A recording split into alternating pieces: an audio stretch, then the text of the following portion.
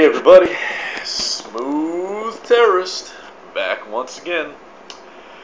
And I've got a video here from a young man named Ki Ki Kizima Blog. I hope I'm pronouncing that right.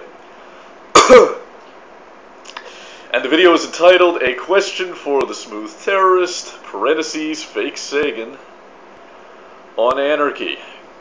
And before I, I, I get to the topic of the video, you said at the beginning of the video that you're not sure whether to call me Fake Sagan or the Smooth Terrorist. Yeah. Um, look, Kizima, Kizima blog. You know that I used to go by the name Fake Sagan here on YouTube. And I know that I used to go by the name Fake Sagan here on YouTube. And, and, and guess what? everybody and their fucking brother knows that I used to go by the name Fake Sagan here on YouTube. It's it's not a it's not a state secret. It's certainly nothing I'm trying to hide.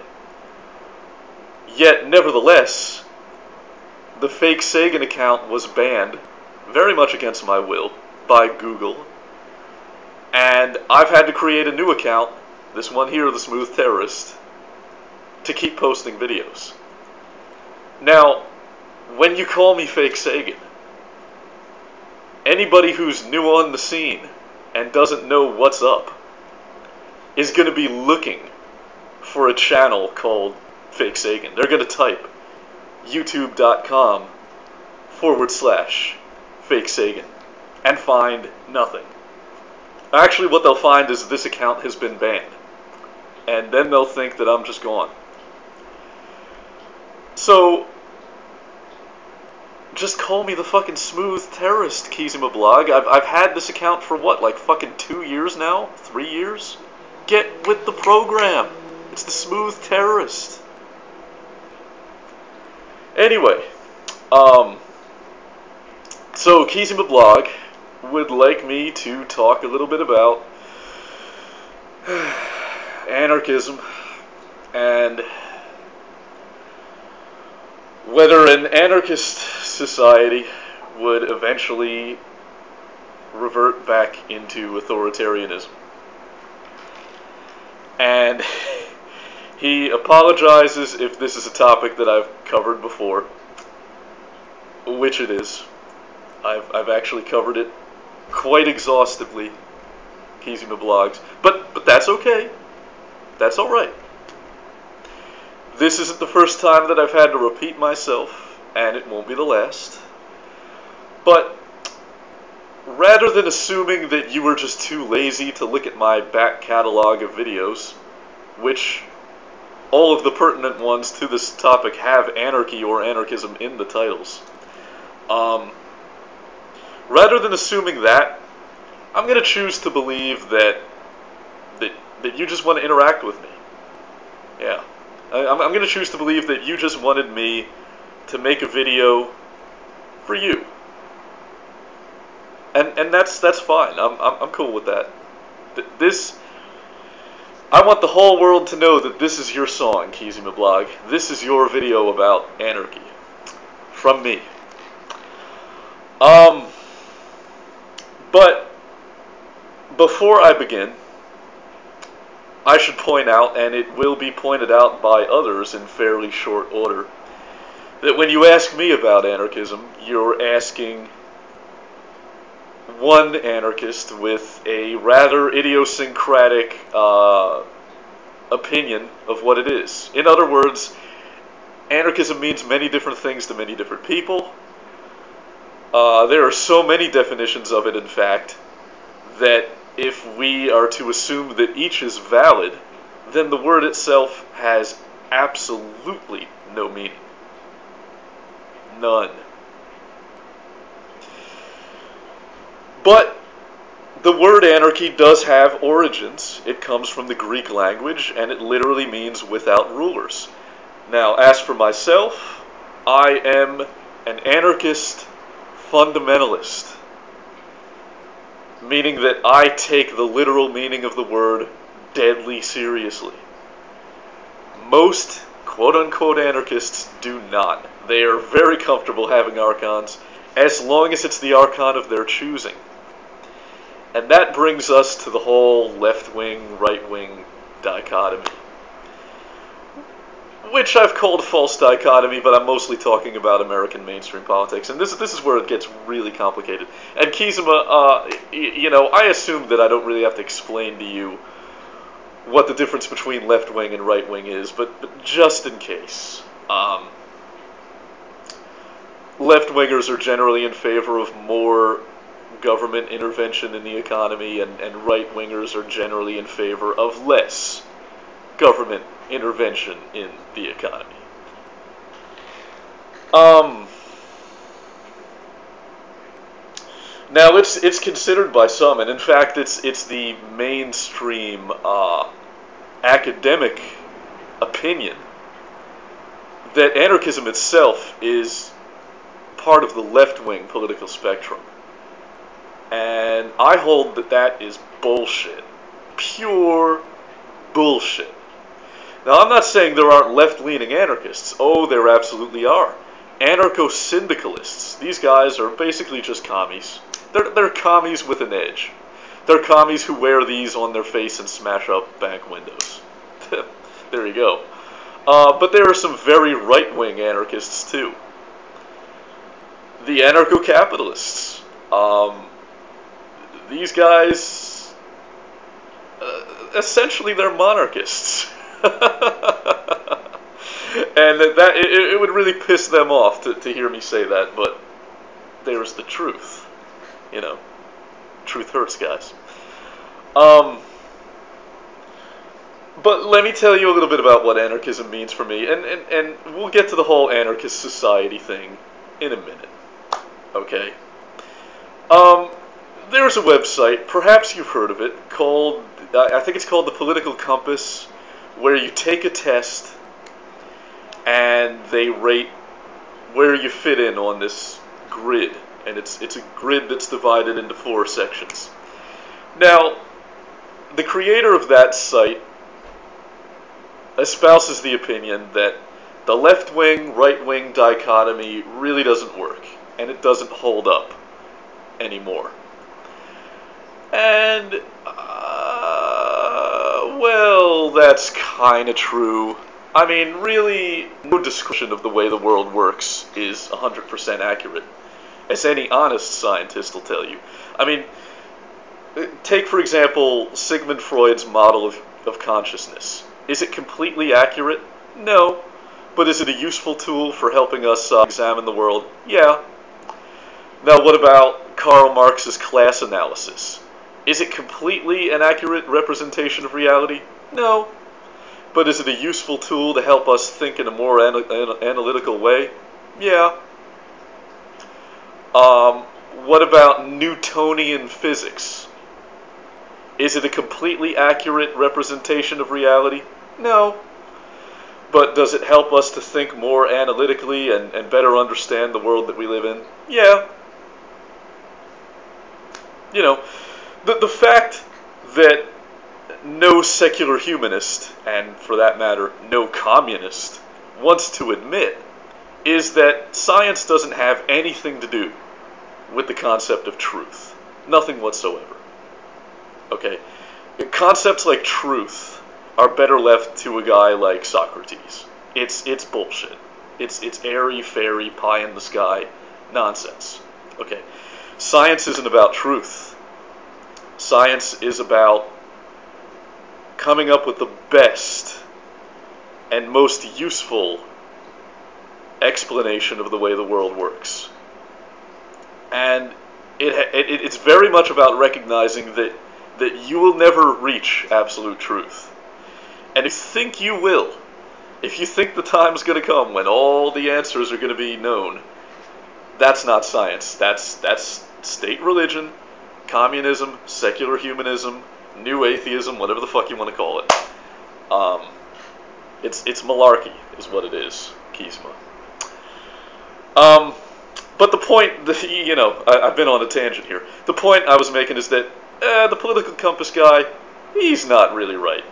Um, the left wing, right wing thing, it, it's actually pretty damn useful.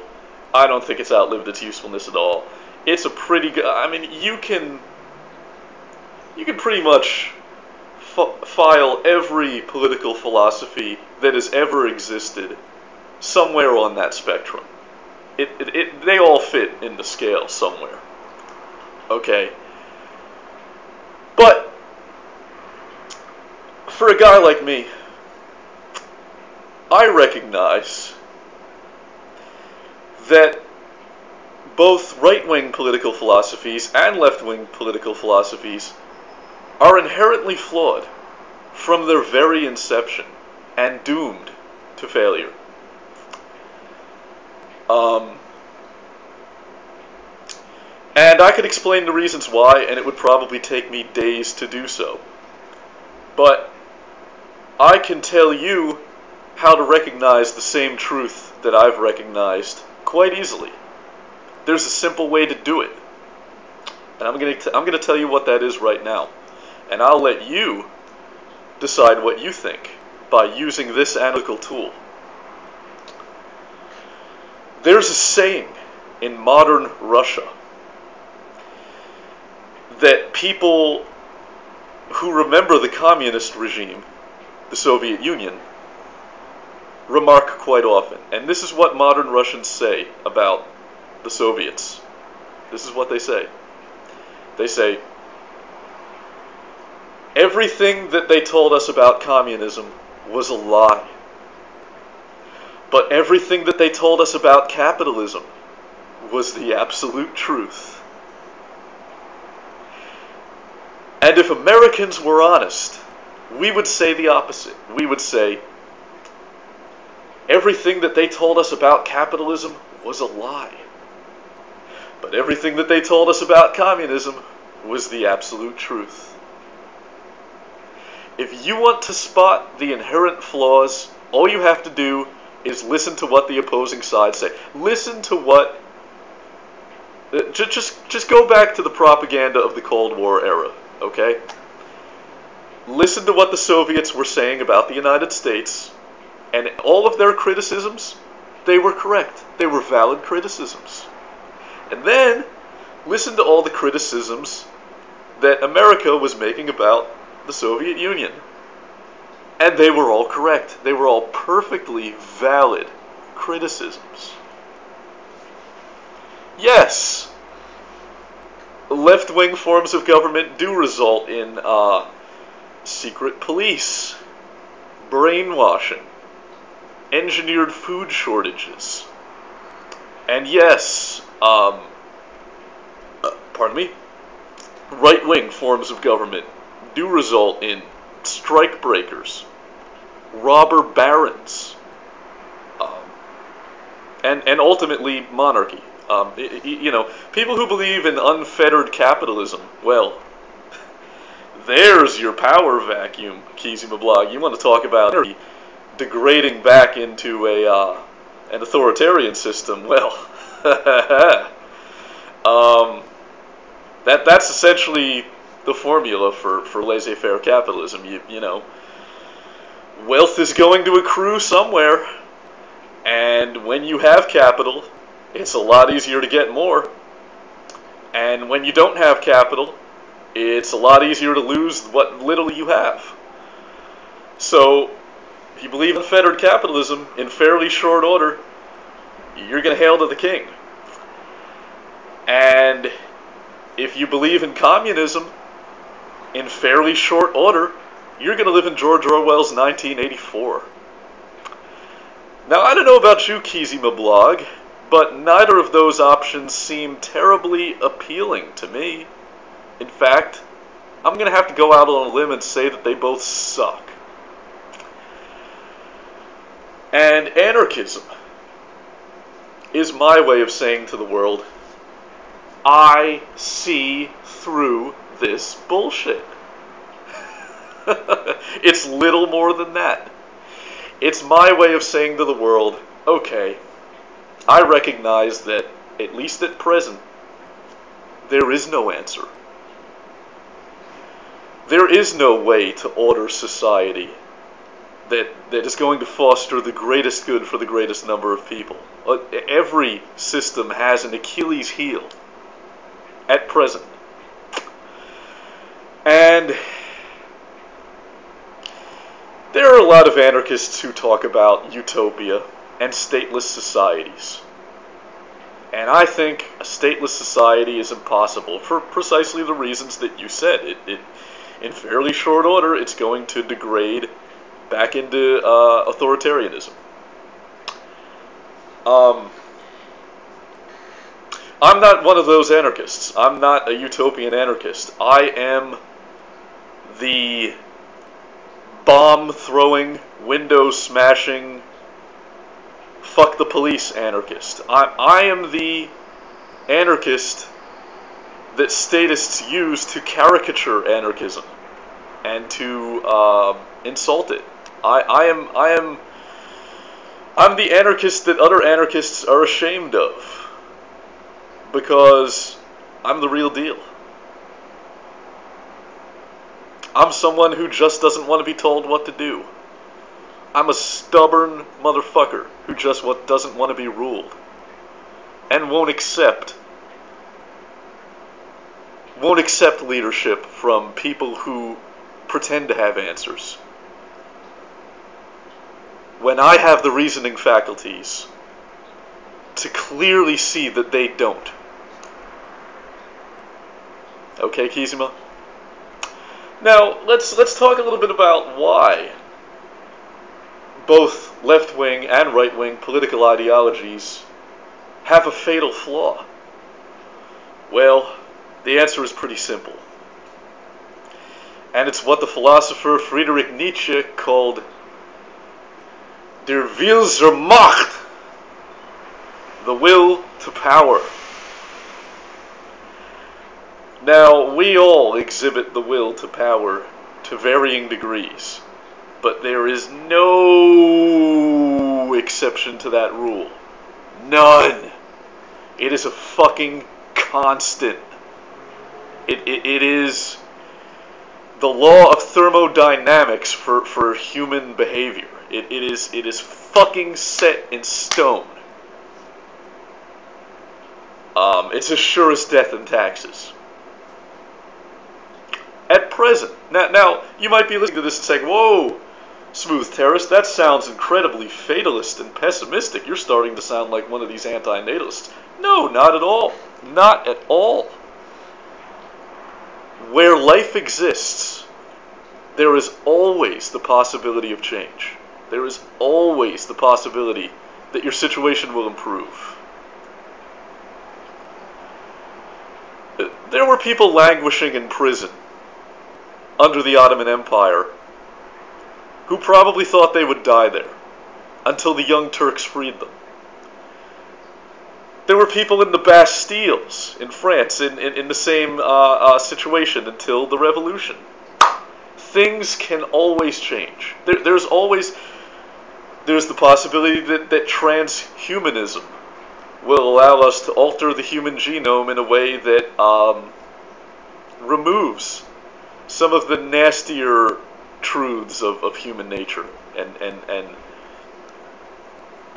lets us uh, uh, reprogram some of our, our more undesirable tendencies. Because the thing about the will to power, Kizima blog, is it, it doesn't exist for no reason.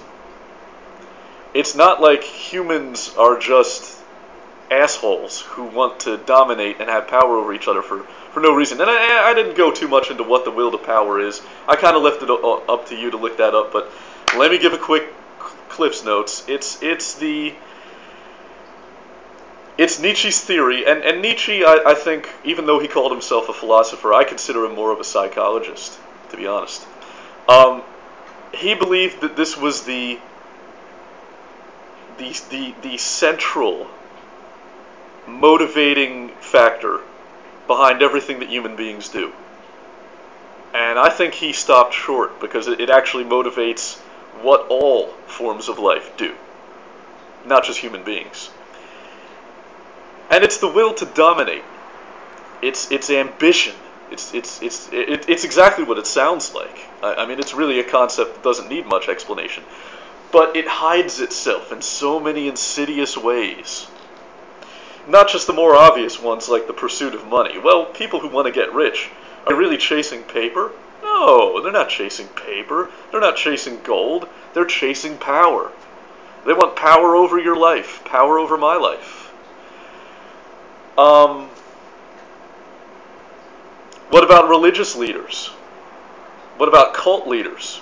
Even ones who say that they don't want your money. They're still after power. It, oh, it, it's so sneaky, that will to power. It hides. It hides in plain sight. And you have to train yourself to spot it. But the will to power does not exist for no reason. It exists because life forms have to compete for resources in an environment where those resources are scarce. And we are the product of millions of years of evolution that has deeply ingrained that impulse within us. Now, the cruel irony of this, and it is a very cruel irony, Kizima Blog, is that because of the technologies that we've developed, scarcity is becoming scarce, and a, and the world is uh, resources becoming increasingly abundant, and and that won't stop. Resources are going to become more and more abundant, exponentially so, in fact, because technology is advancing at an exponential rate. Meaning it multiplies by factors, just in case I have to explain it. Um, now, pretty soon,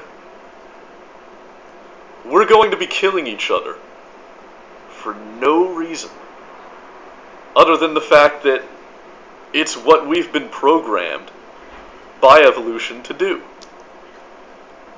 Pretty soon there will be enough for everyone. Uh, I contend that there pretty much already is. But that's only going to that's only going to increase. And conflict and the will to power are going to become increasingly unnecessary, but that does not mean they'll go away. No, no, no. That does not mean they'll go away. Because natural selection favors the ruthless. Natural selection favors the killer, the conqueror. So even in, in a world where resources are infinitely abundant, the meek will not inherit shit.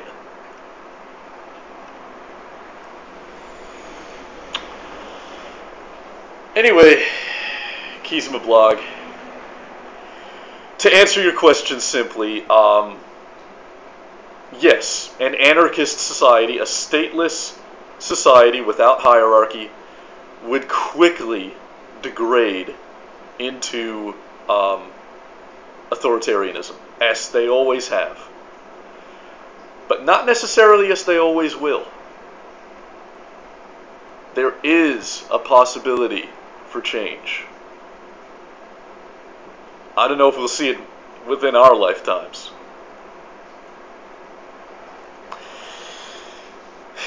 But anarchism is, it, for me, it's it's it's merely just an affectation.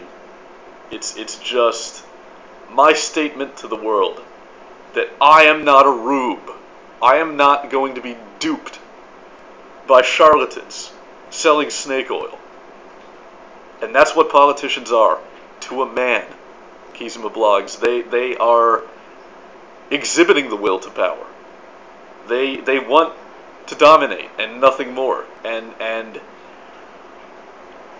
their um, their panacea for for prosperity are are hokum, nonsense, bunk.